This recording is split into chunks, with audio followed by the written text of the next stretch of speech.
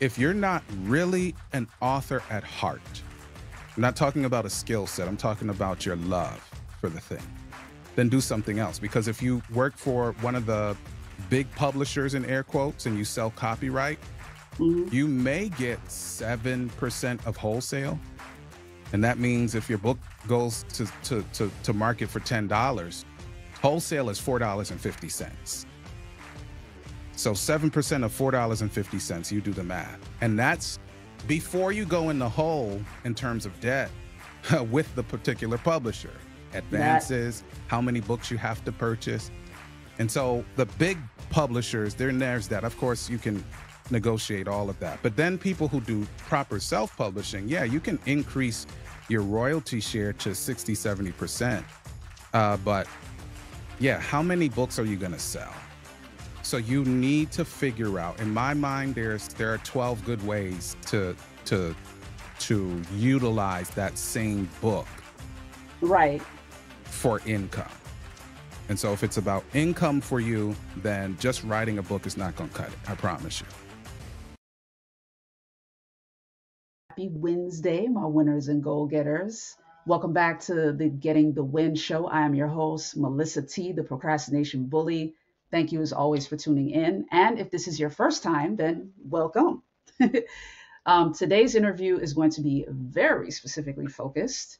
I'll be speaking with L. David Harris about the sort of the publishing process. So if you're someone who you've seen some of my videos on Instagram or on Facebook about getting your book done, this is the conversation that gets into some of those brass tacks in terms of how to do it you know, L. David is going to share his experience with the publishing industry. He is a very prolific writer and author. So he shares his story here, shares some practical tips that you can use. And as I mentioned towards the end of the interview, hey, if you have any questions, drop them in the comments or DM me on Instagram at Getting the Win Show. I'll be glad to answer any of those things or clarify those things for you. But in the meantime, enjoy. As promised, I've got the one and only L. David Harris with me in the virtual building. welcome to welcome to the show, man. Thanks so much for taking the time. Listen, it's an investment. I didn't take anything. I, I just I just want to be in the room with you. Appreciate it, man. Yeah. So, ladies and gentlemen, L. David Harris, my my sort of alter ego, as he calls me, the female female alter ego. We're like brother and sister. It is so dope. Um, mm-hmm. But I brought uh, L. David on because we wanted to like focus on the the importance of prioritization. You guys saw me talk about on episode, I want to say three or four, the different ways to prioritize your tasks and using the, you know, the Stephen Covey quadrant in terms of priorities. But you know, L. David is somebody that is, as he calls himself, a Swiss Army knife. He's done a lot over the many years.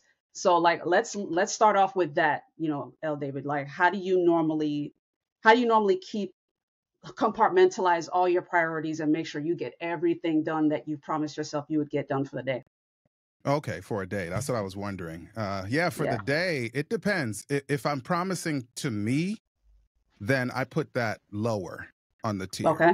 If I'm promising that that to Mellissa T at you know 12 noon I'm going to deliver a project, mm-hmm. then I'm going to make sure that everything that I need to do to make sure I hit that target because I've promised to you mm-hmm. that that's what I do. So I prioritize based on whether it's internal or internal or external. I don't minimize myself, but I do prioritize clients because you would have paid me more most of the time. And if you haven't paid me, my word matters so much that since I said I'm going to meet you at this time or I'm going to deliver X at this time. That's what it has to be. So it's based on a promise most of the time. That's an important that's an important gem right there in terms of prioritizing what you want to do for yourself versus what your clients are doing. If you're, you know, if you're watching and you're an entrepreneur, you probably already do that, but that's all right. Like we're we're reinforcing. we're reinforcing. Um, wanted to get your thoughts because you've been an entrepreneur for quite some time. Like you started many, many businesses. He's like just a little bit. Yeah, just a little bit. So talk about your evolution though as an entrepreneur and how how have you seen yourself become more laser focused with each business venture? How have you seen yourself like improve your performance for your clients over the years? Yeah, so I think my first foray into entrepreneurialism was when I was 19. Wow. And that's Way and back. that's you know that's absent the street hustle like you know i was one of those guys like i I sold i sold my services as a lock picker like when i was 17 so i taught people how to pick locks we're not talking That about count. that kind of stuff people we're talking That that's about that's the dirty consultant. yeah this is this dirty- is this is the stuff you can report to the irs right right. but no I, I when i was in university i had already been so i guess by by then uh four years as like sort of a hood barber right in air quotes. Unofficial right? And Unofficial. yeah after freshman year in university though i needed money like most of us do. Hmm and one of the people that whose hair i used to cut said hey i know somebody with a salon in in in uh, silver spring maryland uh, right on 16th street. So uh, hey i can hook you up. And so my first space as an entrepreneur was as a barber in montgomery county maryland when i was 19 years of age and of course there's this thing called booth rent you have to pay to be in the space and so I had Mhm. to learn like early that listen, if I don't earn enough, then I'm not going to be able to afford the space to work. That and part. even in those days, I mean, I'm I'm 50, so we're talking about a long time ago. Long Uh, even in those days, I had to figure out like how in the world am I going to make the booth rent so that this makes sense. hmm And I've done so many things since then. It's ridiculous. I don't think we have that kind of time. But it was always Yeah. about like what was the most effective use and efficient use of the who of who I am hmm at the time that I found myself. So Okay.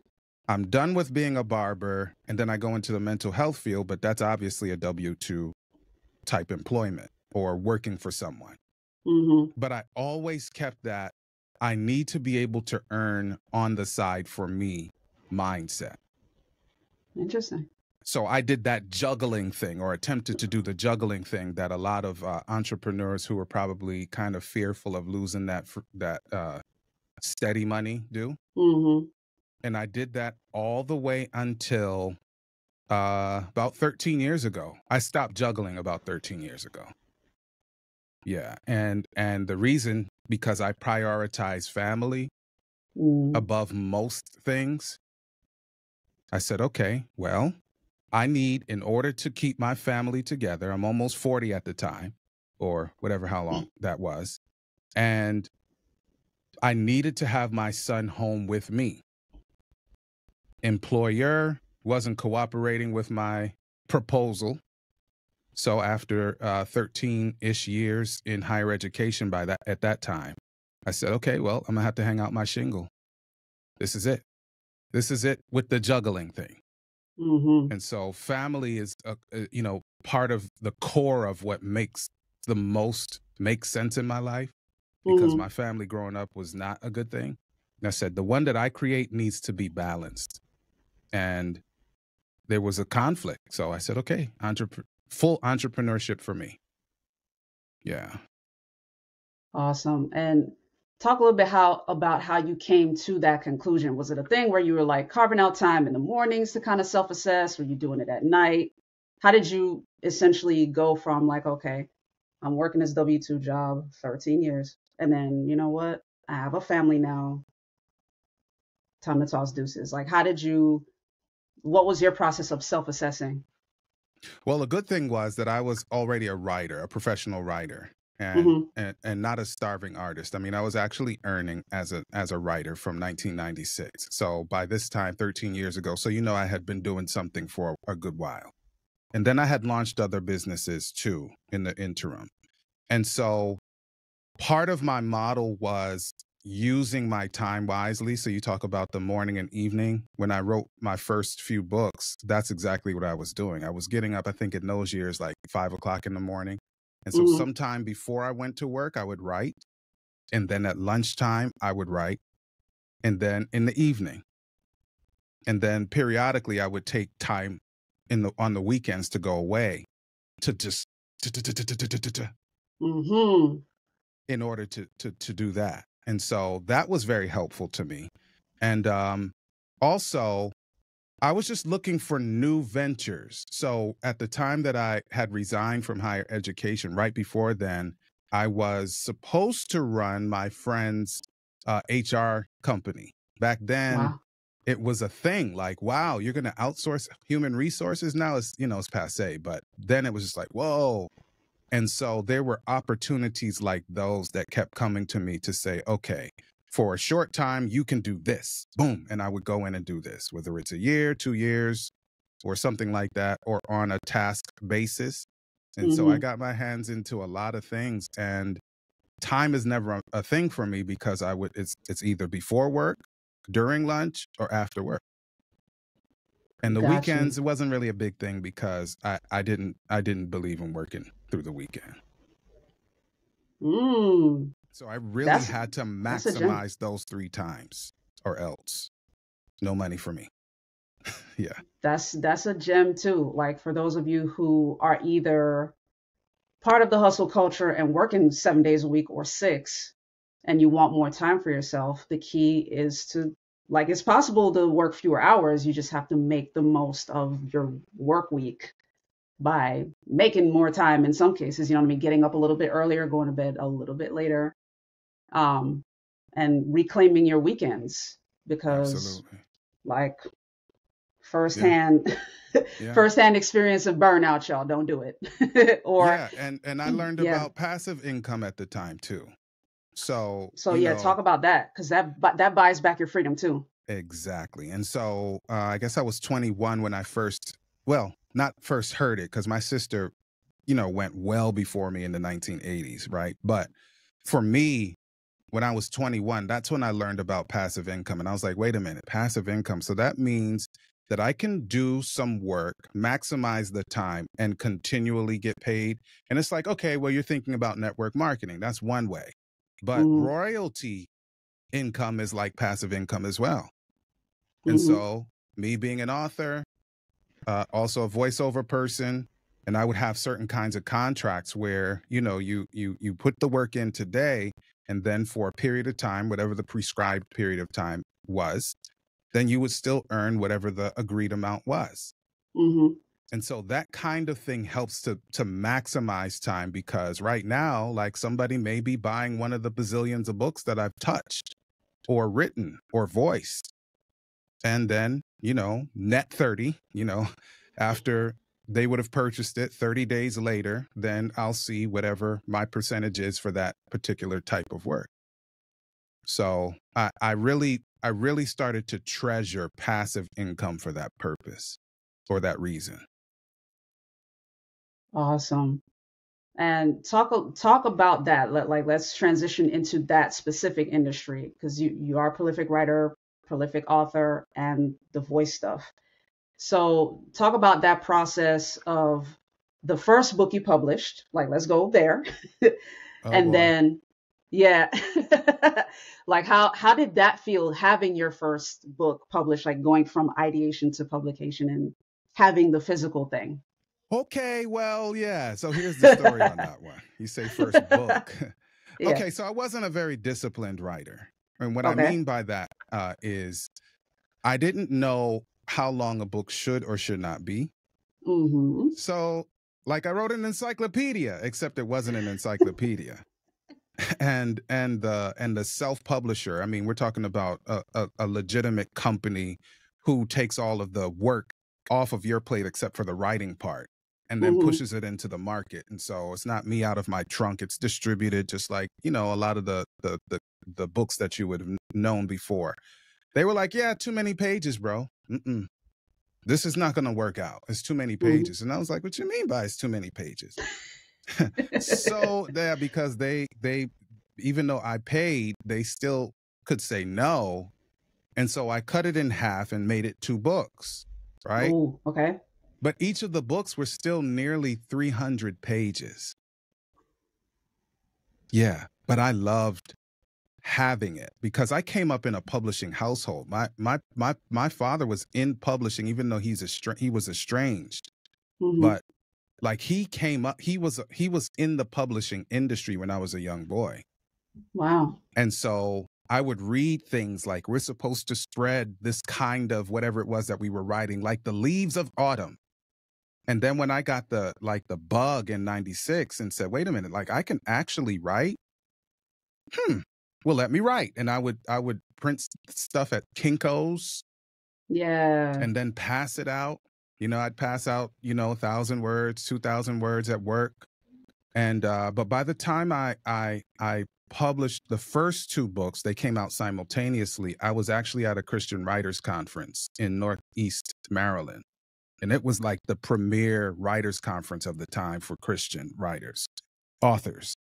And you know, we had literary agents and and publishers you would know of and some like authors you would know. And my book came out, the first two books came out right while I was at a writers conference. So you can imagine that was like, whoa, this is amazing. And uh, then I just got addicted to it. I did that uh, several times over. And then I started to set a goal of a couple of books per year.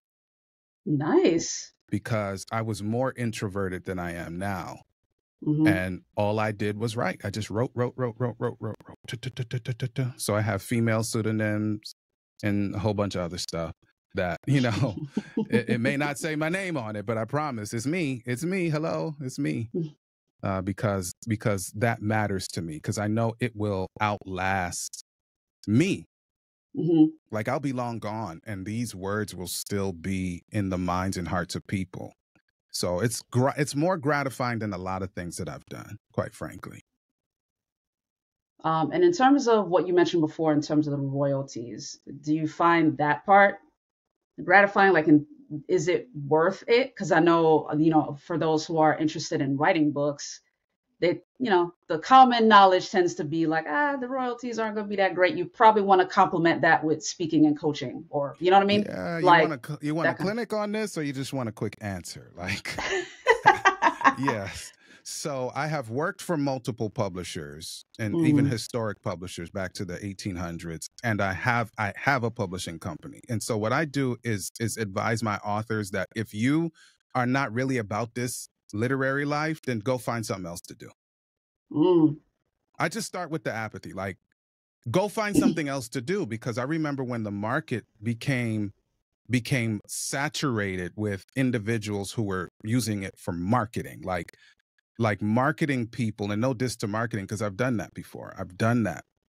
Um but it was just like get as many books out into the marketplace as you can so you can increase your revenues. Mm-hmm. And so it started to me, it started to sort of water down what it meant to be an author because there there was a lot more rubbish in the marketplace. And then I said, okay, if you're not really an author at heart, I'm not talking about a skill set, I'm talking about your love for the thing, then do something else. Because if you work for one of the big publishers in air quotes and you sell copyright, mm-hmm. you may get 7% of wholesale. And that means if your book goes to, to, to, to market for $10, wholesale is $4.50. So 7% of $4.50, you do the math. And that's before you go in the hole in terms of debt with the particular publisher, advances, that... how many books you have to purchase. And so the big publishers, then there's that. Of course, you can negotiate all of that. But then people who do proper self publishing, yeah, you can increase your royalty share to 60, 70%. Uh, but yeah, how many books are you going to sell? So you need to figure out. In my mind, there's there are 12 good ways to to to utilize that same book. Right. For income. And so if it's about income for you, then just writing a book is not going to cut it. I promise you. Not for most people. Mm-hmm. Yeah. Mm. Okay. And like with mentioning that, can you give us like four or five of them? We ain't, we ain't giving them all 12, but like just like four or five different ways that they can parlay a book into different revenue sources. Yeah. So I see a bookcase behind you. So that first one is the one that you see behind you, like the physical product that you can open and close, whether mm-hmm. it's hardcover or paperback. So that's one. Then comes the ebook. So it could be a Kindle or a Sony or whatever kind of e-reader, ebook, not a PDF because this is 2024, by the way. Even though some people do still sell PDFs. I don't know how they do it, but they do. Mhm. So that's two. Then comes the Mhm. audiobook. That's already three. Mhm. Now, if your book is as incredible as uh, two of the ones over your left shoulder, but to the right of the screen, uh, up on that bookcase, then those can be broken out into a spiral bound. I, I say that for visual effect more than anything, Mhm. into sort of a spiral bound concept and turn that into teaching materials. So So like a have fu- workbook. It, well, not necessarily workbook. I, I just say it for effect. Like if you're going to stand before people Mhm. and train them based on the materials in your book, then call it seminars, seminar me- or webinar material. Yeah, I know so how mean. many? So what do we get to now? How many? How many we have? We have four. Okay, good. I didn't get to coaching yet, Right. and so training is different than coaching. Yeah. And so now we're on five already, and it's the same material. You see? And so, and it's not, and it is not that we're we're trying to to somehow swindle people, Mm-mm. but there is so much more value in a book when you have access to the author, True. right? And so if we're talking about seminar webinar training, if we're talking about coaching based on the materials, now you have access to all of the answers and experiences that cannot be captured in the two, 300 pages if it's a huge book, but you know, 170 some pages. You cannot encapsulate what people need to really move forward. The the books are more inspirational unless we're talking about textbooks, but they're more inspirational and they they get you going. They're informational maybe. But the Mhm. transformation I think happens more time when you're able to have access to the people who are really behind the pen.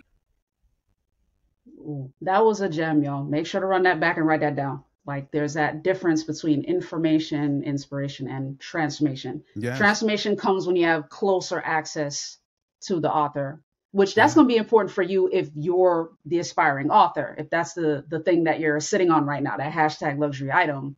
Like imagine the value that comes when you complete the first version, which is the physical thing, and then ebook and audiobook, that's already three. If you choose to go spiral bound for the seminar, that's four.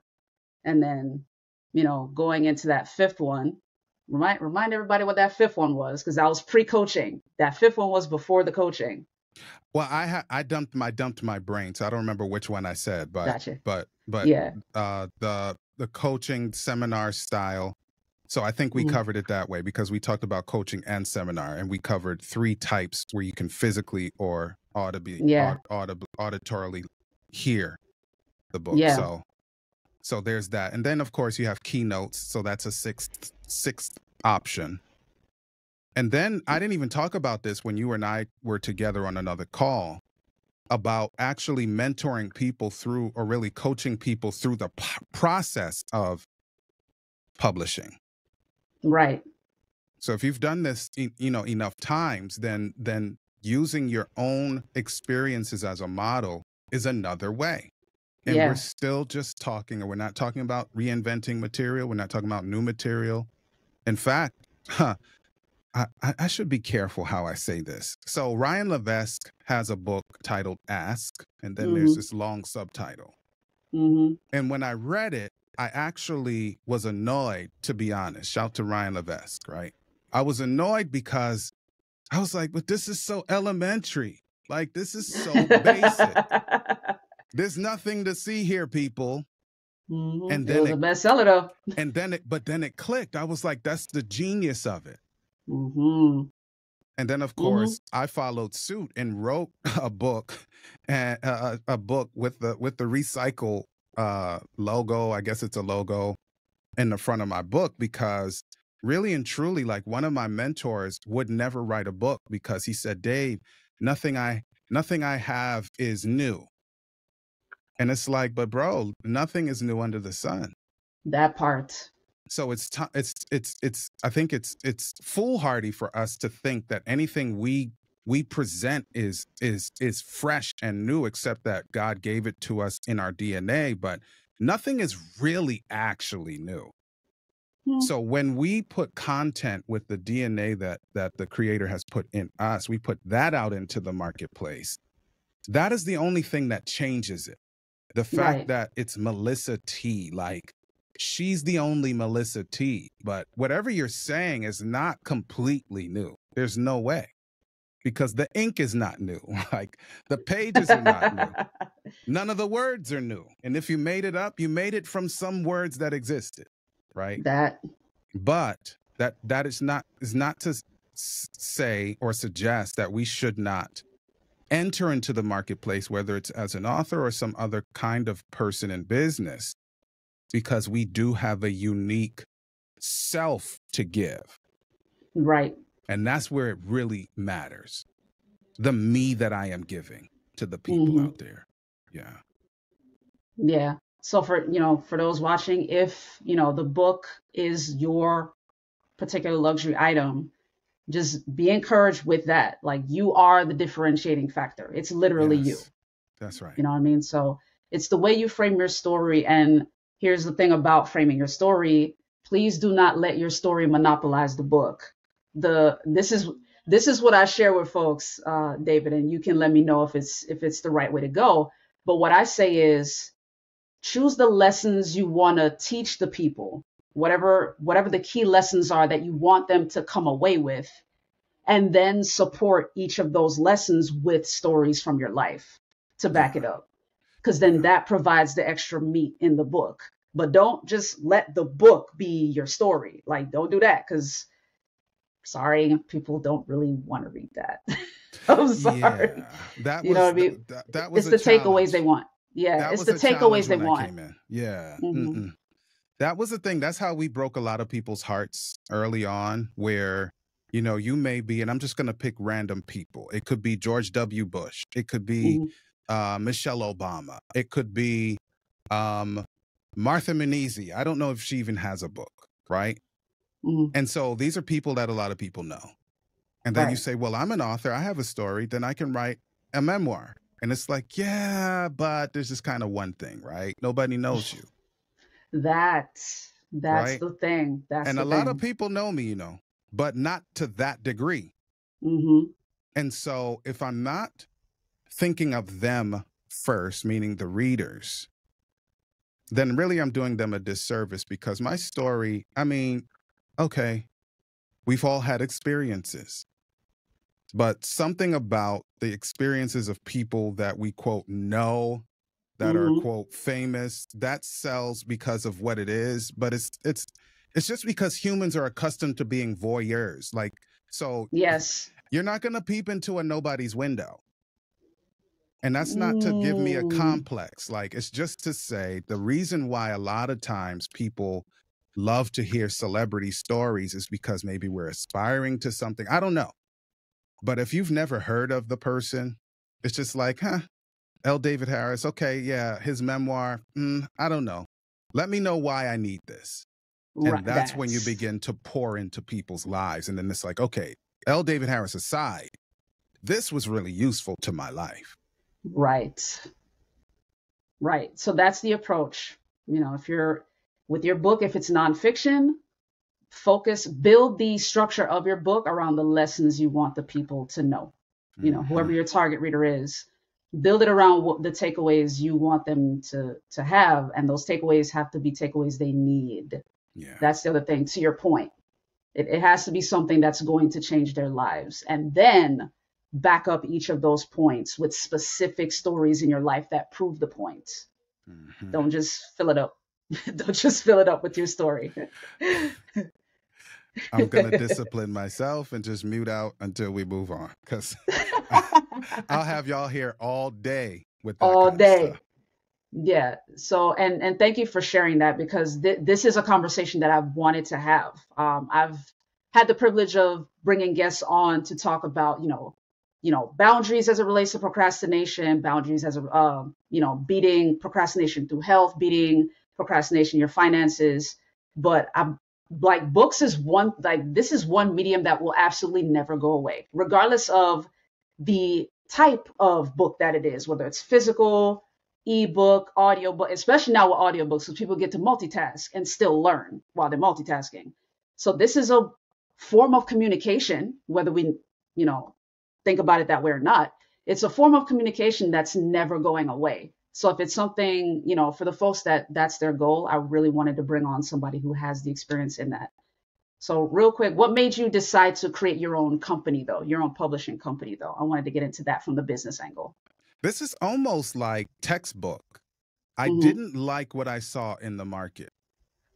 Mm-hmm. And I said, I'm an author first. How can I assist authors who will likely take a whole long time to earn a decent living in this field and strip out the things I hated the most about being a published author. One of the simple things that I didn't like was, and and, and listen, this is a business mod, this is a business staple. So don't mm-hmm. get me wrong. Sometimes I go overboard, but a business staple is is is getting quarterly reports mm-hmm. and income based on uh, money that has come in, cleared the books, uh, passed the refund period, and some other stuff, right? So mm-hmm. I'm not mm-hmm. mad at it. I just didn't like it. So I didn't like waiting for a quarterly report and then looking at this spreadsheet and then looking, wait until I get to the bottom and say, well, what, how much of this is mine? And why did I have to wait so long? And so what I did was I became a proxy in my publishing space mm-hmm. for the author to get them closer to the distribution channel. Mm. So their income never hits my books. It goes directly to them. And so that means if the distribution channel is paying net 30 days, mm-hmm. then the author's going to get net 30 days. But publishing companies like mine usually get that money and then on a quarterly basis, based on accounting, cut checks. Mm. But I said, mm. okay, cut myself out as the middle person on the royalty money. So mm-hmm. I earned zero dollars royalty. And most publishing companies of our type still charge on the front end. So I'm like, hmm, if they're charging on the front end and they're not earning royalty income, why do I have to wait for quarterly reports when I know that the distribution channels are net 60 or net 30. Mm-hmm. Put the author in the position to get net 30, net 60. So that was the first, the very first thing I changed is to put them in the position. The other thing I changed was having them to be in charge. Now I have a 50 50. Sometimes I do, sometimes I don't, but have them be in charge of their own ISBN or that number for international sales that identifies your book in the marketplace. So rather than it being owned by publisher X, you own it. Nice. As the author. Because That's quite good. frankly, like, you know, nobody's naive, right? If your book is not published by one of the few big publishers, they know it's self published. Mm-hmm. The question is, is it well done? Is it well edited? Does it look good on the shelf next to the big publisher or big published big publisher books? Mm-hmm. If the answer is yes, then nobody cares whose ISBN it is. Like nobody cares. If it says Mellissa T, but it's in the system that identifies books to publishers around the world, then that means that any bookseller around the world can put your book in their stores if they choose to. And it'll show up in all of the public records around the world. And that's how I position my authors to not have to really, you know, if the record is messed up, then we have to wait for somebody at the publisher to go fix it. You that's... have access to go get it fixed yourself before lunchtime, kind of style. That's good. Mhm. Kind of returning the autonomy to the author, which I think Yeah. is Yeah. Because if it's self published, just do it yourself. Like, except for the quality part. Like, don't do that because you're probably going to mess something up. Like, don't do that. Out, Don't do that outsource that. Yeah. Outsource that. Yeah.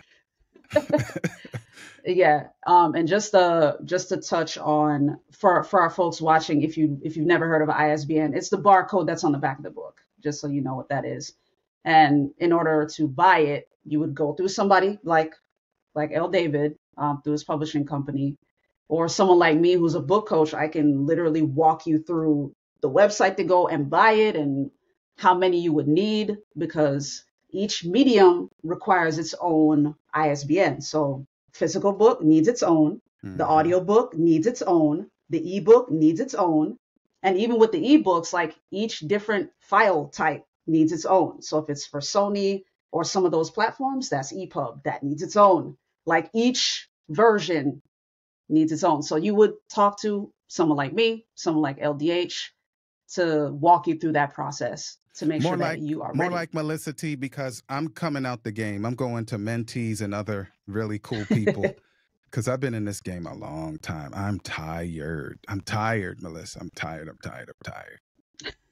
I'm tired. So I'm pushing all my chips into Mellissa's lap and everybody and a couple of other people.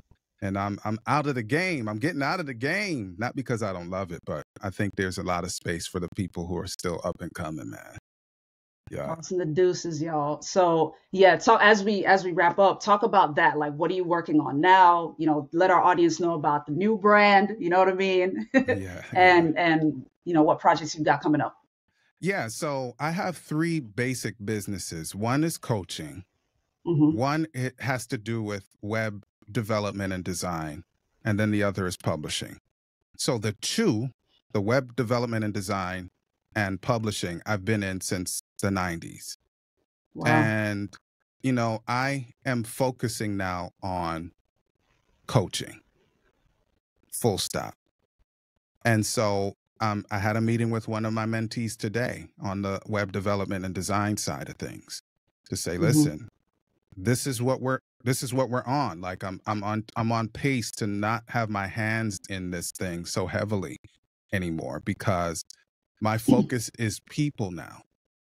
I've been dreaming about this since I wasn't old enough to know what I was dreaming. So I, wow. yeah, I went into the mental health field in 96 professionally, I'm saying. hmm Behavior modification and management. And so in 2001 I started to get into uh, behavior assessments and things related to behavior styles and so forth, personality.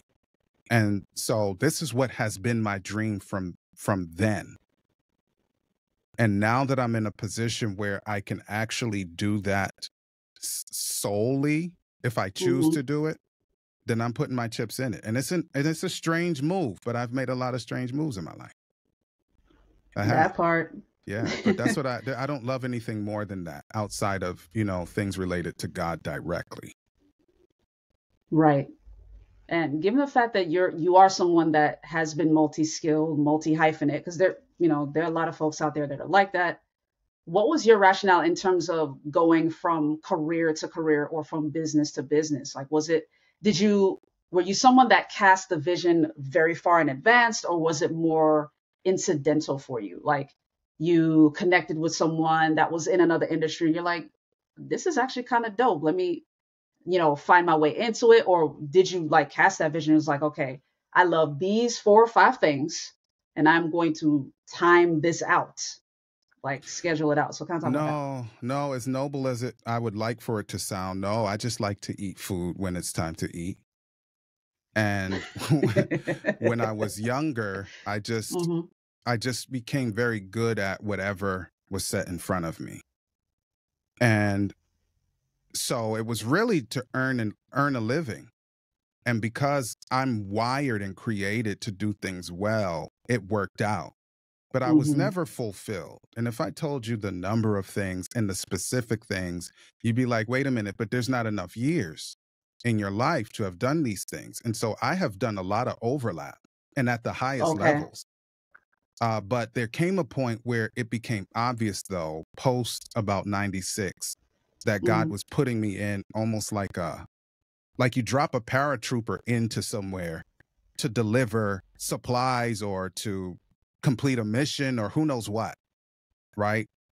And I became like this specialist in multiple industries that they would drop in different places. So years doing this with this set of people, years doing that with that set of people, and then shoot, I'm gone. And it's like, who was that guy? Oh, you mean right. the guy that was here for 10 years? Yeah. Yeah, he really he was a good dude, right? Yep. Gone. No trace. Like people still look at me now, like when I'm at the supermarket, people like, and then they call me by name. You're here? Because I live in Jamaica. You're mm-hmm. here? Because I did I did four years in a situation like that, in, even in Jamaica. And it was like, well, we thought you migrated. I'm like, no, I didn't migrate. I just stopped doing what I was doing, and I'm not hanging around. Like, I don't. I'm not bored. Like, I'm not. I'm not coming to the calf. Like, but that's what it was. It was like God said, you will do this. Drop them in there. Boom. If it is it two years, is it ten years, is it fifteen, is it twenty six? Mm-hmm. And then, shoot, when I'm done, I'm gone. On to the next thing. Yeah, so I don't I don't recommend that, by the way, uh, right. By any stretch. But that's just the way my life worked. But now that you hear and you've you've been we've been around each other for long enough, I have so much to to to offer people who are being coached because mm-hmm. I have not just touched but but functioned highly in so many things that I'm not guessing when I'm giving right. guidance. You can right. take it, leave it, agree or disagree. That's okay. But I'm speaking not just from a book when I'm help assisting uh, my coaching clients. Good point. Good point. So take that if if for you, if your luxury item is coaching instead of a book, definitely take what um, L. David is saying there and be fully confident in what you know. Yeah. You know what I mean? especially if you're multi hyphenate. Like, feel free to patch together all of your skill sets, mind map it, like, put it down on paper so you can see it with your eyes and see how you can blend your different skill sets together, your different knowledge bases together in a way that the market is looking for. Obviously, do your market research too. Of like, course. know what know what the people want and create a product that they want. That way, it's an easy sell. If you're giving Definitely. them what they what they need, then by all means, they'll be happy to take the money out of their wallet and give it to you. Definitely. You know what I mean? That's where I am these days. I'm not I'm not mm-hmm. about the bag anymore as much as I want to be a billionaire with a B. That's a B, billionaire. Mm-hmm. But now it's not as much me manufacturing an industry or a product or a service in order to eat. Right it is it is legit that's why i'm i mean it's really a dice roll for for people like if you feel like you're going to get up and become a coach and that's all you're going to do strap in for like a long time of eating out of tin cans right? Because the market is saturated. Have to, we have to be honest with ourselves about that kind of a thing but Very i know true. that i'm i'm uniquely called and equipped and skilled and positioned and so it's not a dice roll for me mm-hmm. to do. But but we have to be honest with ourselves and say, okay, if there's something that we really love and we have been dreaming about, I told you it started for me a long time ago, and it's only now that I'm in a position where I can do that full time. Very true. That that sort of thing requires planning. So if that is your luxury item, make sure you're in different circles with either someone who is already a coach and coaching coaches. That mm-hmm. is a mm-hmm. thing. That's a thing. or you know download the necessary resources or by all means like dm me you know what i mean? Because i can always point you in the right direction or comment below this if you're watching on youtube. I can always point you in the right direction. But ld thank you so much for taking the time. I want to make sure to honor your time because yeah, i know you have a hard stop. Yeah. Absolutely. And you know i would love to have you back on yeah, eventually to kind of yeah to chop this up because there's there's even more to L David than you guys have heard today, and I would love to get into that another time. But appreciate you for coming on tonight. Thank you. Yeah, yeah, yeah. It's my honor. Quite frankly, I'm not bored, Mellissa T. I'm not bored, so I'm honored to that, be with you. That's why I'm here. Awesome. By the way, that's a whole shirt. I'm not bored. I love that. I'm not bored, right? Like I got stuff to do. But but but but that means that I'm honored by you. And so thank you. Yes. And then lastly, where can people interact with you? I know you don't you don't mess around with social media too much like that, but where can they get a hold of you, learn more about the stuff that you're doing? Yeah, put me into Google. They know me. Google knows me. So just go ahead and uh, get those quotes up and put L. David Harris in Google and whatever you find that is useful to you, I think that'll be the best bet for you. Yes. By the way, it is L. David, y'all. That is That's his it. whole first name. That is right. I think you may have seen my birth papers. Yeah. You did. you showed yeah. it. And I was like, wow. yeah. but yeah, peace. Take care. Thank you so much for being on. Peace. Hopefully you enjoyed that interview. As you heard me say towards the end, we'll have L. David back on the show for sure because he is a gold mine of guidance and information, um, not only from the publishing side, but also the entrepreneurship side and even the personal development side. As you heard, he worked in um, the mental health, he worked in the mental health space for many years and is also a coach now. He's focusing on that. So if you've got any questions, if, you, if there's something you want he and I to follow up on in our next interview, drop that in the comments below as well. We'll be glad to dive into that on the next one. But if you haven't yet subscribed here, be sure to do that at Getting the Win on YouTube. Uh, subscribe and hit the bell icon so you receive all notifications. You won't miss a single thing. And you can follow me on Instagram, Pinterest, and Threads at Getting the Win Show. At Getting the Win Show. In the meantime, I hope these tips helped you this week to get you started on that journey. If the book is your hashtag luxury item that you've been sitting on, or if coaching is your luxury item that you've been sitting on, hopefully this episode provided you with some tips and some fuel to get you started or, you know, to continue the process that you began. So in the meantime, have a great Wednesday and a great rest of your week. Peace out. And be sure to check out the merch shop. If you are curious about the shirt, you want one for yourself, you can go to gettingthewingear.com. That way you, you see this shirt, you'll see a bunch of other accessories as well. We've got hoodies, we've got sweats, we've got all the gifts that you could possibly want to buy for yourself and for your folks to get the message out about being as productive as possible and staying true to yourself. Because the mission of this show is to turn procrastinators into producers. That's why I always task you guys to hashtag get on that. Make sure you're on top of your luxury item. And that way you can rock the gear to remind the world that you are all about that luxury item. You are all about getting things done, getting the goals instead of simply setting them.